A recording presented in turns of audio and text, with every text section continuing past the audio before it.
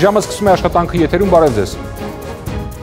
Ղարաբաղյան թեման երկրի առաջնորդի ու Գերմանիայի Բունդեսթագի նախագահի զրույցի առանցքում է։ Պաշտոնական այցով Գերմանիայի Դաշնային Հանրապետությունում գտնվող Սերժ Սարգսյանը հանդիպել է Նորբերտ Լամերթի հետ։ Բացի Բունդեսթագի նախագահից Սերժ Սարգսյանը այսօր հանդիպելու է երկրի բարձրագույն ղեկավարության հետ։ Վերջին նորությունները Գերմանիայից ժամի լրագրող Զոհրաբ Հարոյանն է պատմում։ Քիչ առաջ մեկնարկեց նախագահ Սարգսյանի պաշտոնական այցը Գերմանիայի Դաշնային Հանրապետություն եւ քիչ առաջ արդեն կայացավ նախագահի առաջին հանդիպումը։ Սա Գերմանիայի Դաշնության Բունդեսթագի խորհրդարանի շենքն է։ Պաշտոնական այցով Գերմանիայում գտնվող Սերժ Սարգսյանի առաջին հանդիպումը Գերմանիայի Բունդեսթագի նախագահ Նոբերտ Լամերթի հետ էր։ Հանդիպման ընթացքում նախագահը ներկայացրել է Ղարաբաղում ստեղծված իրավիճակը, մասնավորապես ապրիլի 2-ից Ադրբեջանի կողմից սահմանային էսկալացիայի բարձրացումը։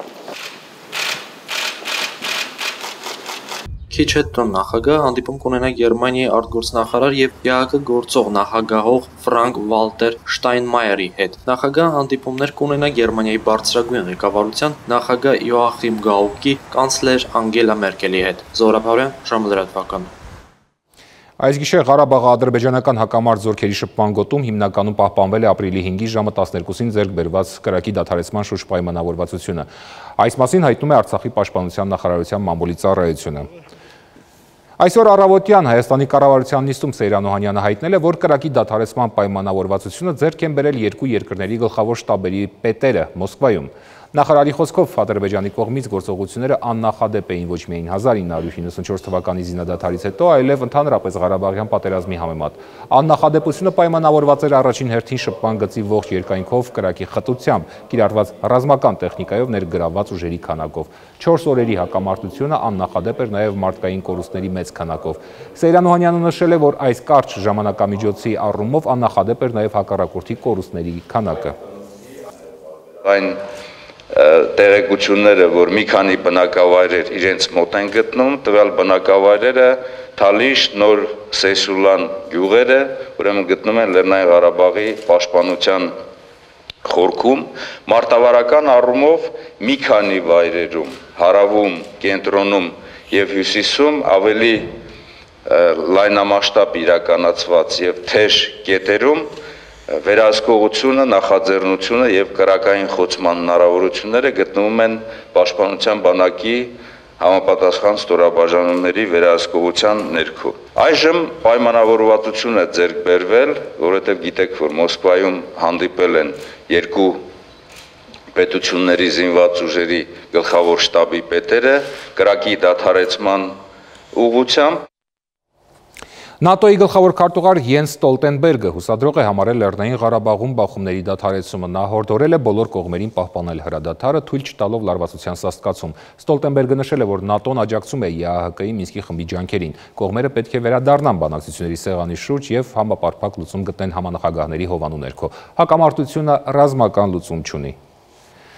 ԵԱՀԿ Միսկի խմբի համանախագահները Ադրբեջանում են Բաքվում մեկնարկել է համանախագահների եւ դեսպան Անջեյ Կասպրշիկի բանակցությունները նախագահ Ալիևի եւ արտգործնախարար Մամեդյարովի հետ։ Հանդիպան սկզբում համանախագահները ողջունել են շփման գծում զինադատարի պայմանավորվածությունը եւ կոչ են արել անմիջապես սկսել ակտիվ բանակցային գործընթացը։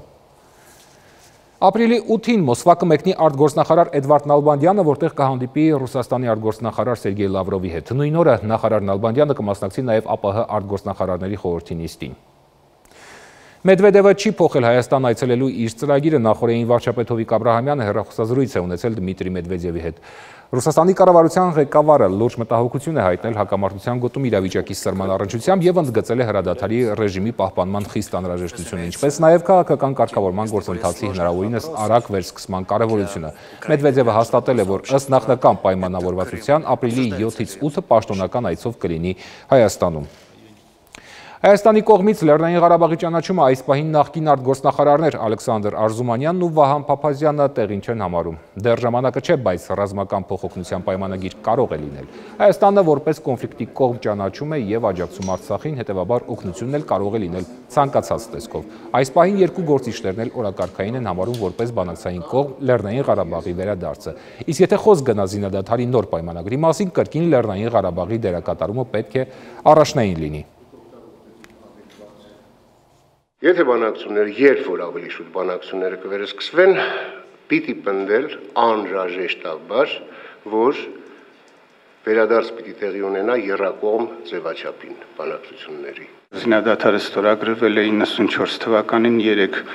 կողմերի միջև Ադրբեջանը խախտել է այն, պատասխանը ստացել է կամ պետք է առաջնորդվի այդ զինադատարի պայմանագրով կամ պետք է դիմի Լեռնային Ղարաբաղի իշխանություններին նոր պայմանագիր ստորագրի Ղարաբաղի եւ Ադրբեջանի միջև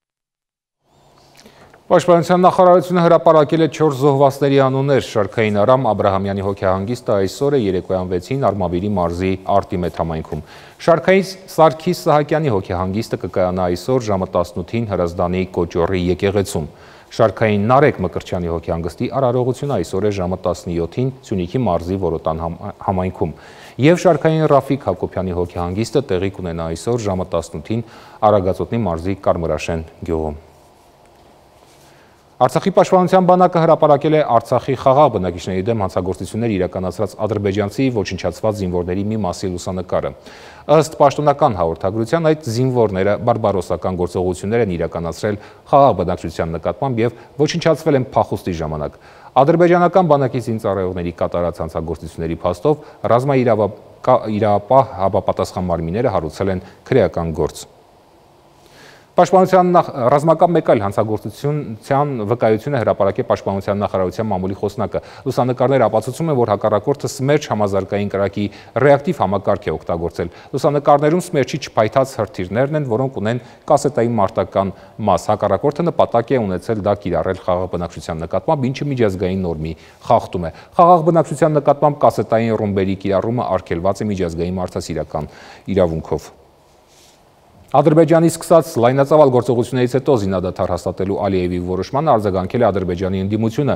Ազգային ճակատ կուսակցության առաջնորդ Ալի Քերիմլին Facebook-յան էջում գրել է, որ Ադրբեջանի ժողովուրդը, իշխանությունն ու ընդդիմությունը համախմբվել էր։ Որոշ երկրներ Ադրբեջանի կողքին էին, իսկ Թուրքիան բարձր մակարդակով աջակցում էր Ադրբեջանին։ Այս պայմաններում հրադադար կնքելը Քերիմլիի խոսքով նշանակում է կրակը հանգցնելով ածուխների հետ խաղալ։ Անդիմադիրը նշել է, որ Ադրբեջանը կորցրեց Ղարաբաղը գրավելու հնարավորությունը։ Գրարման վերջում Ալի Քերիմլին իշխանությանը կոչ է արել այլևս չասել, պետք լինի Ղարաբաղը կվերցնենք։ Նման հայտարարություններին այլևս ոչ ոք լուրջ չի վերաբերվի։ Սամանային էսկալացիային են անդրադարձել ամերիկացի փորձագետները։ Կարնեգի հիմնադրամի վերլուծաբան Փոլ Ստրոնսկին համոզմունք է հայտնել, որ պատերազմի վերսկսմամբ գերտերությունները հետաքրքրված չեն։ Երկարաժամկետ հրադադարի հաստատման համար հարկավոր է վերահսկման լուրջ համակարգ։ Այժմ Ղարաբաղյան հակամարտության գոտում ավելի ամուր վերահսկման համակարգ գործարկելու ժամանակն է։ Ամերիկայի ձայնի հայկական ծառայությանը տված հարցազրույցում նշել է Վաշինգտոնի Կարնեգի հիմնադրամի Եվրոպայի եւ Եվրասիայի ծրագրերի ավակ փորձագետ Փոլ Ստրոնսկին։ Ըստ Ստրոնսկիի բավական տարօրինակ էր հակամարտության լարումը այն պարագայում, երբ Հայաստանի եւ Ադրբեջանի ղեկավարները գտնվում էին Վաշինգտոնում։ Ըստ նրա մեծ տերություններից եւ ոչ մեկը հետաքրքրված չէ Ղարաբաղում պատերազմի վերսկսման մեջ։ Իսկ թե ով էր կանգնած հակամարտության լարման որոշման հետևում հարց է, որը միանշանակ պատասխան չունի։ uh. Ինձ համար པարզ է, որ հրադադարի խախտման մեջ ավելի լուրջ հետաքրքրվածություն ունի ադրբեջանական կողմը։ Այնուհանդերձ Վաշինգտոնում բարձրաստիճան հանդիպումներից հետո դեպքերի նման զարգացումը ինձ համար առնվազն տարօրինակ է թվում։ Վերլուծաբան Իգոր Դանչենկոն նշում է, որ Ղարաբաղյան խնդրի թեժացումը ժամանակ առ ժամանակ ծառայում է տարբեր կողմերի նեղ քաղաքական շահին։ Я, я вот лично считаю. Քաղաքական գլոբալ դաշտում Ղարաբաղի հակամարտությամբ եւ ոչ մի կողմ հետաքրքրված չէ։ Դա չի ծառայում ոչ Ռուսաստանի, ոչ Թուրքիայի, ոչ ԱՄՆ-ի, ոչ էլ Ադրբեջանի ու Հայաստանի շահին, սակայն խնդրի թեժացման պարագայում տարբեր քաղաքական ուժեր շահարկում են դա իրենց անձնական քաղաքական շահից ելնելով։ Վերլուծաբան Ստրոնսկին նշում է, որ թեև տերությունները հետաքրքրված չեն Ղարաբաղյան հակամարտության վերսկսմամբ, այդուհանդերձ Էրդողանի Ադրբեջանի սատարելու մասին հայտարարությունները ապակայունացնում են իրավիճակը։ Վերլուծաբան Դանչենկոն հավելում է, որ Էրդողանի հայտարարությունները իրական քաղաքական դաշտում կշռում փոփոխություններ չեն խոստանում։ Այս հայտարարություններով նա ընդհանրապես շահարկում է իր ներքին քաղաքական շահը, շեղելով Թուրքիայի հանրությանը երկրի ներքին խնդիրներից։ Երկու վերլուծաբաններն էլ հավաստում են, որ Ղարաբաղյան խնդիրը ռազմական լուծում չունի։ Ինեսա Մխիթարյան, Ամերիկայի ձայն, Վաշինգտոնից։ Այսքանը մենք եթերում կլինենք նաև ժամը 16-ին։